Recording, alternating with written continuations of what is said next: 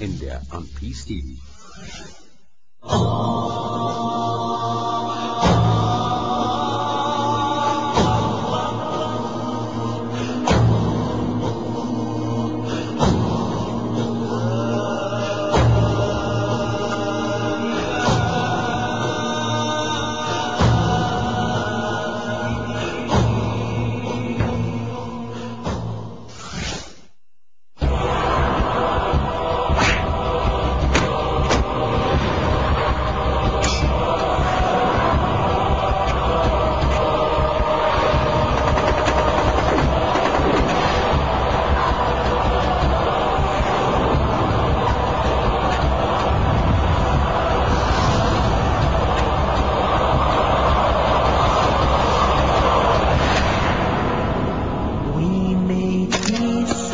Of ours. In the name of peace, we gather here now. Oh Lord, please make these days of ours on this earth filled with peace.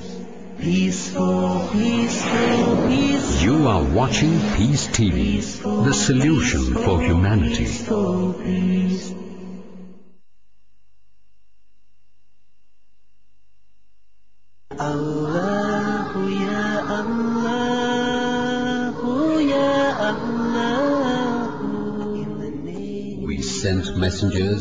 Bringers of good tidings and warners, so that mankind will have no argument against Allah after the messengers. And ever is Allah exalted in might and wise.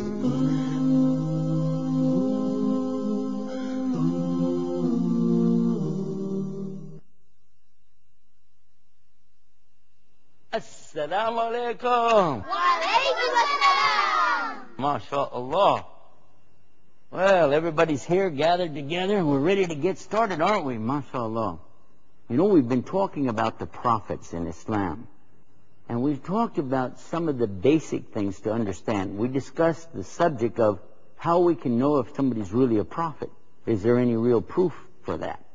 Then we found out some clear evidences.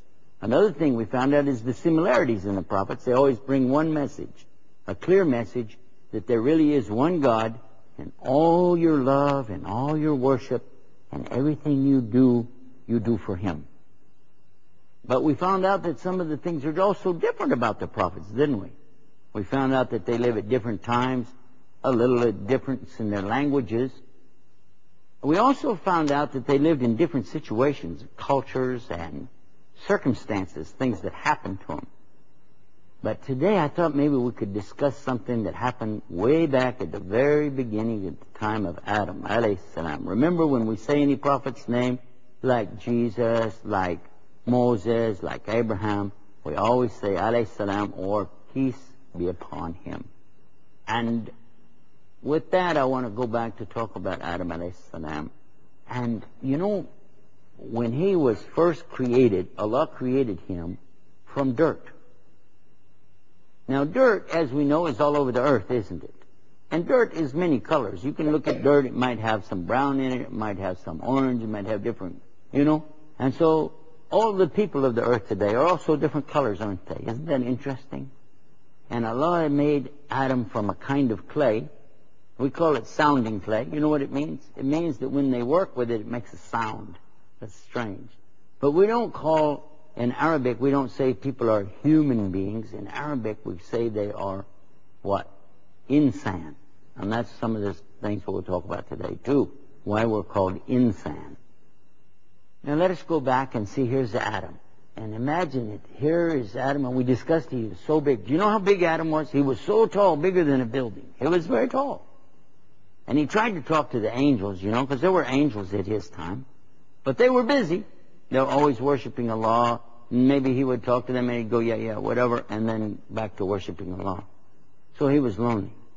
And one of the things that had happened, Allah told Adam to give names to everything.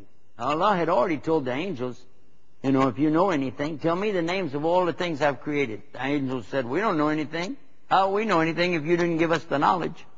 But when Allah told Adam, give names to everything, Adam named everything. Yet, and after that, experience, I guess he was pretty tired, huh? He lay down, he fell asleep. Allah made him fall asleep, and during his sleep, Allah did something. Allah took the bone of Adam, which is the short bone, from the ribs. And then Allah made that bone have skin on it and flesh. And then eventually it became what? It became Eve. That was the first woman, was made from the bone of Adam. Did you imagine that? So Adam woke up, you know, he's like, Hey, who are you? You weren't here before. He said, That's right. He said, Where did you come from? She said, I came from you. From me? And when he realized, he said, Hmm. So then he told her her name. He said, You are Hawa. Now the angels are going, Hey, how come you called her Hawa? He said, Because she's created from something alive. And Hawa in Arabic is from the same word as Hayy. And Allah is Al Hayy, which means what? Always alive. Eternally alive. That is the name of Allah. Because He never dies. So she's called Hawa, which means alive. So women are coming from the same place men are coming from. We're all coming from the same place. Allah told us in the Quran, يَا أَيُّهَا النَّاسَ اتَّقُوا رَبَّكُمُ الَّذِي خَلَقَكُم مِّن نَّفْسٍ وَاحِدَةٍ وَخَلَقَ مِنْهَا زَوْجَهَا وَبَثَ رِجَالًا كَثِيرًا وَالنِّسَاءَ And that's the meaning of what I'm telling you right now. That he said, Oh, human beings, you're coming all from this source. He says to us, Oh, human beings, have taqwa for Allah, for your Lord. And Allah is the one who created all of you from one single person. Who? Adam. And from him created his mate, Hawa. We call her Eve too. And from these two, Allah brought forth many men and many women. It's important for us to know this because just like we need to know that men have responsibilities and things they have to do, also women have responsibilities and things they have to do too. Now another subject that comes up with this is called knowledge. Because one of the amazing things about Adam, and all of us too, is the ability to learn. I don't guess there's anything else on the whole entire planet Earth, really, that has the ability to learn like a human being. We can learn so much and understand so much. And this is something, I mean, all the way back from Adam. Allah gave that to us. This desire, if you will, or love to want to know more. I want to know more. So sometimes we hear stories and we want to hear more, more. Why? Because inside you, there's something saying, get some more knowledge, get some more knowledge. But then the important thing to do is to know how to use your knowledge, isn't it? The first knowledge all of us have is the knowledge about ourselves. And we found from the story of Adam, he had knowledge about himself. He had knowledge about the bone that came from him that became his wife. He had understanding. Then the next kind of knowledge that we need to have is the knowledge about the one who created us. Where did we come from? Did we make ourselves? No. That's kind of dumb, isn't it? No, but it had to be from God, Allah Almighty. He created all of us. So if we know that and we said He created us, this is a good kind of knowledge. Now there are some people that deny it. They say, no, everything happened by accident. Some people say we came from monkeys. That's pretty good. When you consider, if we came from monkeys, how come we still have monkeys today? Hmm? So, obviously we as Muslims, we don't believe that silliness. However, there are people who believe that. They don't want to believe in God. They want to believe in the monkey idea. Again, though, the prophets gave us enough information for us to understand that there really is God. We really came from Adam. And one of the things that we talked about earlier program, we said that in every country in the world, in every language in the world, the name for the first man is Adam. Now, how could it be all over the earth? Even in China, even in Russia, Switzerland, Norway, Sweden, Spain, Africa, America, Australia, everybody's saying Adam. It's not a coincidence. It's because human beings know where they came from. And none of them said the first man was named Monkey.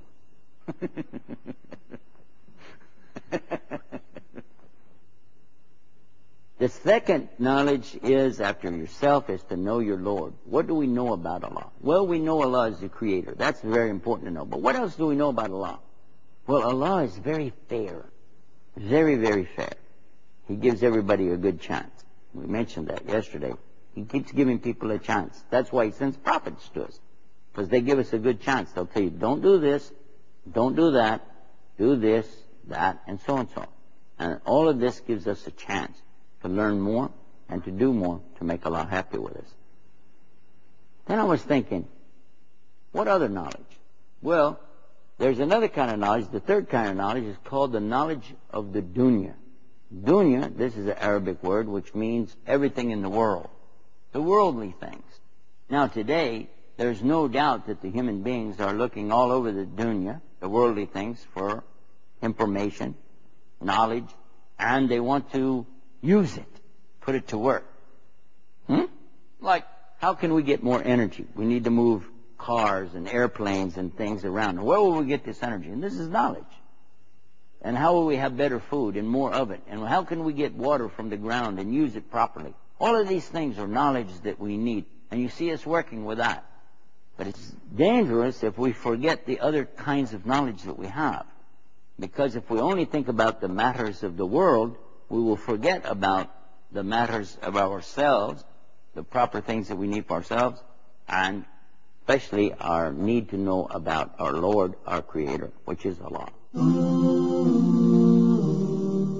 We're doing pretty well, but I feel certain areas need attention. Firstly, note counting machines for more efficient operation. And the top brands available are Delarue, NCL, and Class. Mm-hmm. We must shred our waste confidential documents. The most reliable paper shredders are of Rexel and Faceit. We're spending a lot of man hours preparing regular mails every month. DFE has the most efficient bulk mailing system. That's very good. When can we have a list of all the suppliers? We don't need a list, sir. No list? Just one name. IED. Time saved is money saved اسلام نے پہلا کلمہ ہی قرآن شریف کا بتاتا ہے کہ نہیں ہے عبادت کے قابل سوائے پرماتما کے اور کوئی۔ لا اللہ الا اللہ محمد رسول اللہ۔ دھرم میں ہے ایک و برہم دتیو ناستی۔ ایک میو دتیم برہم۔ لا اللہ الا اللہ، یہ دھرم کہتا ہے۔ یہ سندیش رشیوں منیوں نے دیا اور یہی سندیش ہمارے محمد صاحب نے اس پیغام کو ہم کو دیا تو ہم بھید بھاؤ کیوں کریں؟ اور اس وقت میں ساری دنیا میں ایک قرآن پہنچے گا تو ساری دنیا میں ساری دنیا میں شانتی ہوگی، ساری دنیا میں امن ہوگا۔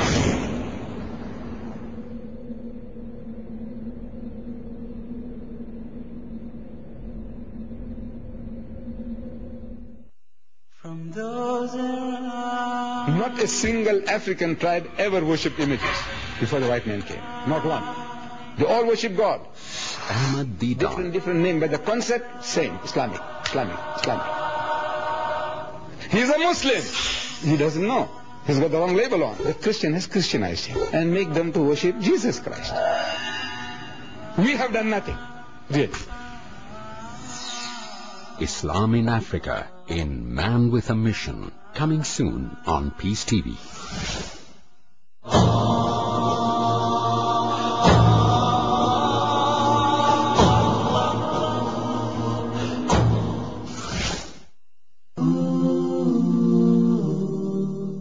These prophets, when they come, the main thing they stressed to us was to know our Lord.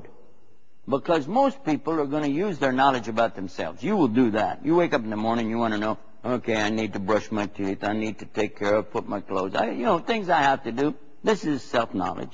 Also how to take care of myself. Maybe I need to relax. Maybe I need to sleep. Maybe I need to just like chill out, something like that. All of those things that most people do take care of. And of course, I already mentioned that we're taking care of the matters of the world. Things that I want, like get money, get education, have a big house, have a nice car. Those are worldly things. But when we forget about the most important thing, is the knowledge of our Lord, then we're going to have a big problem. I'll give an example why. In some countries today that I visited, I found that people, they don't want to believe anything anymore. They just gave up. They don't refer to their prophets anymore. They don't think about that. They just want to believe, as we talked about this idea, everything comes by accident. So what do you think happened? When they get what they want, they're very happy. Very happy. They want a job, they want money, they want a house, they want position, they want power. When they get it, they're very happy. They like to dance, they like to sing, they like to make music, and go crazy, and they're happy, happy, happy. Until what? Until they don't have it anymore. Then what happens? Then they become very sad or very angry. Yeah? So here's something that you could think about. What will happen if you live in a place that will take care of you? Some countries, they will take care of people who get in that shape. You don't have money anymore. They said, okay, you don't need any money. We'll just let you stay in housing. Oh, okay, so I don't need to worry. And then if I get sick, don't worry, the government will take care of your health. So you said, okay, I don't need to worry about that. And then what, you know, if you need education, you don't have any money, don't worry, we're going to send you to school. So the more that the society or the group of people you live in, the more they take care of each other like that, this is a nice thing. It really is nice. But if the people begin to depend on that and they forget about their creator, they forget about their Lord, the one who created them, then what will happen? I'm going to show you something. Think about this. So people start to think that the government is going to do everything or society is going to take care of them. Now what happens? They lose their job. They say, okay, you take care of me. Government said, today we don't have any money. Huh? We can't take care of you today. We don't have any money. Oh, now what will they do? Or they'll say, well, you can't keep the big house. You have to move to a small house. Oh, I don't want to be in a small house. Or you can't have your car anymore now. We have to take your car. You can ride the bus. Oh, I don't want to ride the bus. And I'm sick. Well, we'll give you treatment, but you have to wait a few weeks. But I'm sick now. Nope, too bad. We don't have enough money. So then the people become unhappy with the situation. They be very unhappy with it. So they start thinking, what can I do? I don't like this life. I don't get what I want. And even the people who have money don't always get what they want. When you have money, doesn't always make you happy. No, because still I want this, I want that, but I'm still not happy. So then some people, they will start to drink alcohol. They will take drugs. They will do bad things, trying to find happiness. But they won't find it like that. They can't find it. They're looking outside for happiness and they don't find it. Then what happens?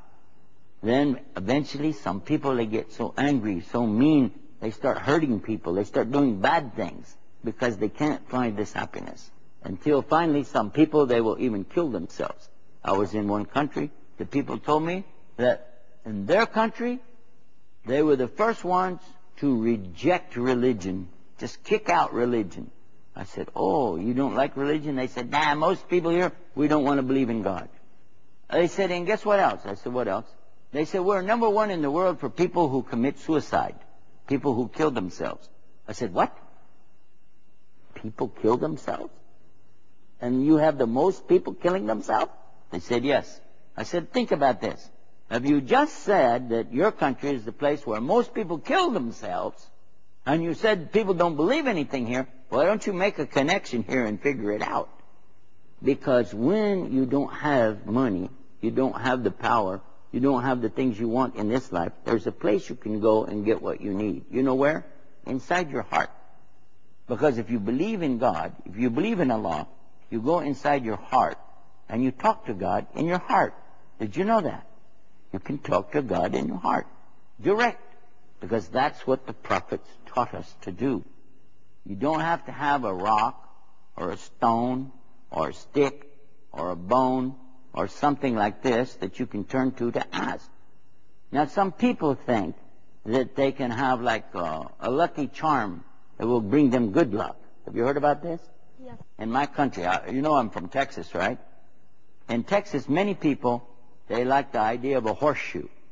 And they said the shoe from the horse. You see the shoe from the horse? It's not really a shoe, it's just a piece of metal, isn't it? And it goes kind of like a U. They said this is good luck. And in some places they put it like this on the wall, and they said it catches all the good stuff. Yeah. In other places, they put it like this, and they said, no, it makes stuff come down that's good. And I said, you guys can't even make up your mind. Why don't you turn it this way? You know. but anyway, I was thinking, if it's such good luck, what about the horse that's walking around with only three shoes? Because you got his other shoe on the wall. And then some people said a rabbit's foot is good luck. Did you ever hear about that? A rabbit's foot is good luck. And some people used to put the foot of a rabbit, a real rabbit's foot, on a chain and carry it like for good luck. I said, well, it sure wasn't good luck for the rabbit, was it?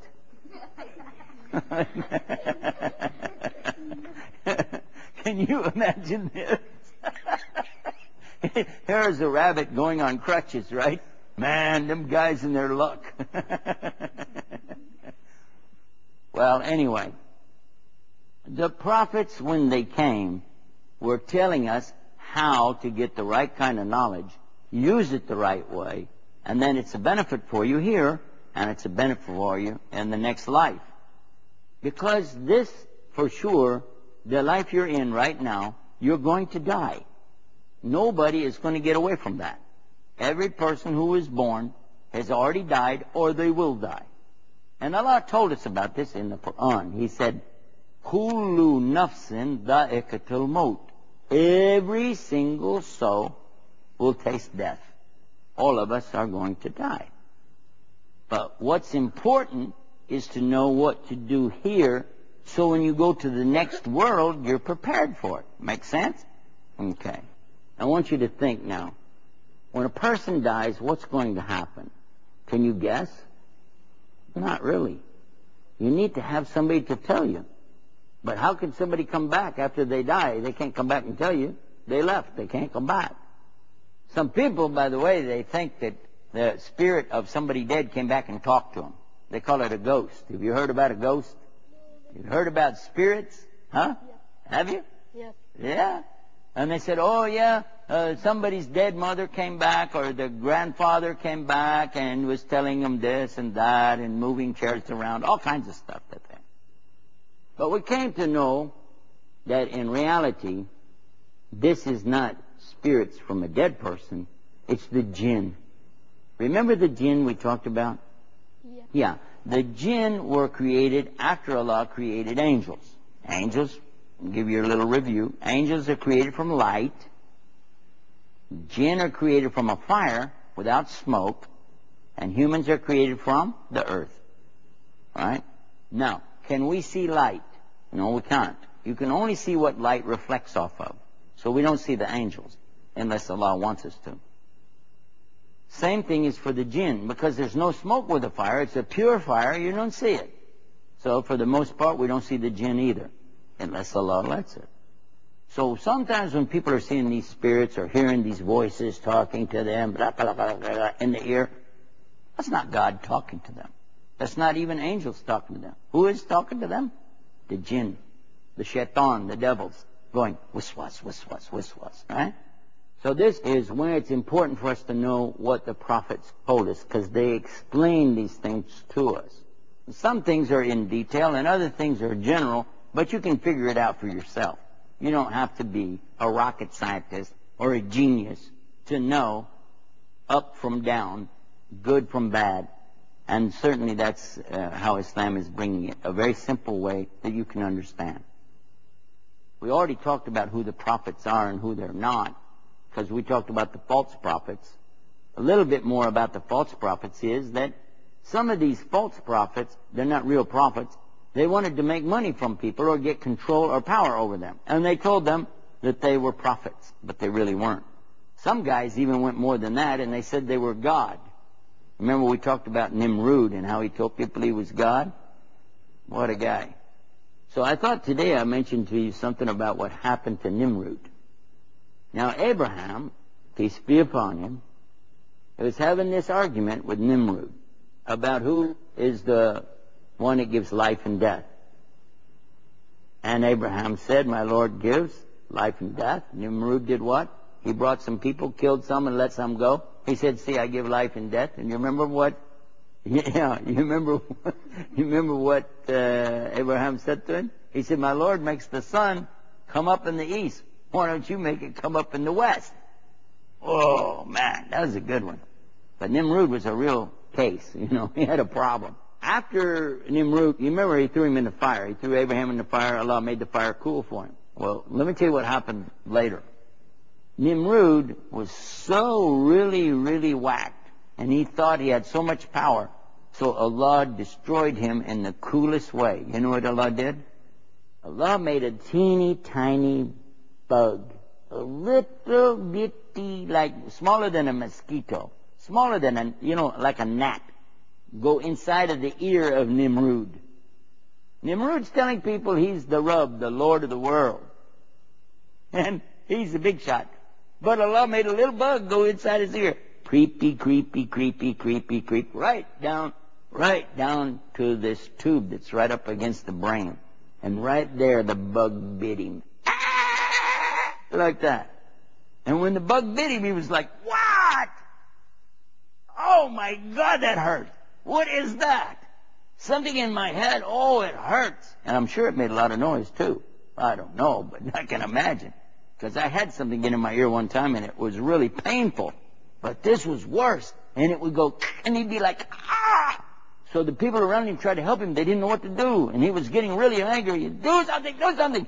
Somebody said, what shall we do? And they were trying to do this and this. And finally somebody took a shoe. They used to wear wooden shoes.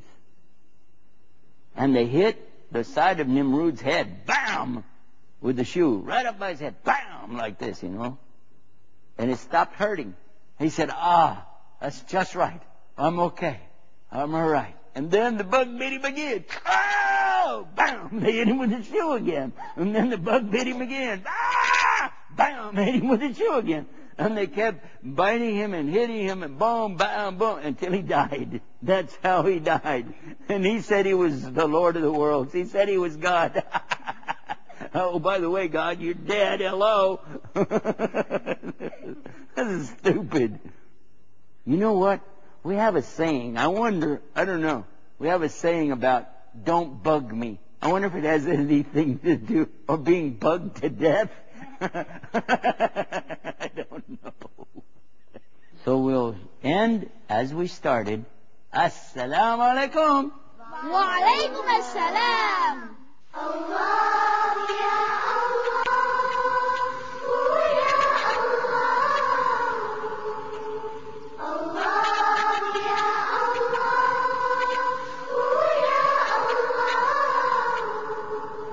In the name of Allah. Lord of all the worlds, there is no God but Him, the living and eternal. Allahu Ya Allahu Ya Allahu. Abdul Rahim Green, Every single thing I had a doubt about Islam, time proved it to be the truth. Hussein Green, Prophet Muhammad is the prophet for everybody. So without following the prophet, you cannot get close to Allah. Yusuf Estes, It's not guidance from me, not guidance from you. It's guidance from Allah. Allah guides whom He wills. a missile to bring peace in the world. Peace Missile. Next on Peace TV. The ultimate aim of education in Islam is to liberate you Make you a liberated man and a woman because an educated mind cannot be fooled. An educated mind cannot be exploited. And Muhammad sallallahu alaihi wasallam will give the example. طلب العلم فريضة على كل مسلم ومسلم. Seeking knowledge is an obligation upon every single Muslim.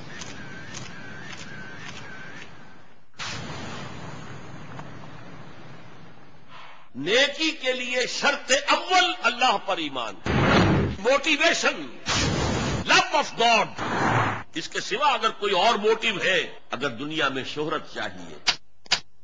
اگر اس نیکی کے ذریعے سے بھی مال کمانے کا معاملہ ہے، دھندا ہے، نیکی کے پردے میں دھندا ہو رہا ہے، وہ نیکی نہیں ہے۔ چاہے ظاہری اعتبار سے وہ بہت بڑی نیکی ہو۔